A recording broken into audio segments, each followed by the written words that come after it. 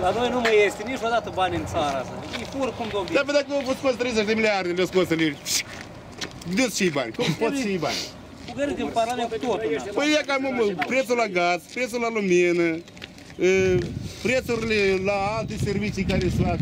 Și încet cu încet la toți că le că 3 milioane de populație, că un leu 3 milioane. Dacă pe 100 cât e?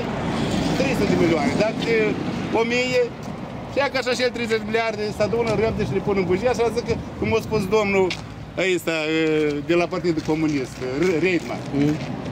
În, în problema în sistemul bancar nu uita. Nu uita. Sunt niște mici greșeli care trebuie corectate. Și ar fi tot normal. Ce discutăm noi în Parlament trebuie și secret, sub grifă secret, Partidul Liberal sau Socialist nu are dreptul de bulge nicăieri. Dacă măcar deputata de Bulgar s-a discutat 8 ore acolo în Parlament, trebuie închis imediat. Sau pedepsit, sau acolo depinde ce de vulgar. Să nu știe nimic ce au avut loc în țară și nici caută să ridică prețul la gaz, la lumină și să ridică, s-au ridicat prețurile la motorină, s-au ridicat prețurile la pesticide, la semințe și la papucei, la pantalonaj, la coftiță, la ce toată lumea poartă, la produse alimentare și nu numai. La medicamente și așa mai departe. Toți știu că medicamentele astea ridicat 30-40% dacă nu mai din consumul. Și iată așa se trăiește în țara noastră. Dacă avem frică, dacă ne fricoșăm, să nu ieșim.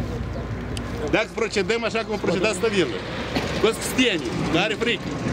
Dar noi, cum am spus, nu avem frică, ne adresăm la organizatori și ieșim. Ce trebuie să fim fricos?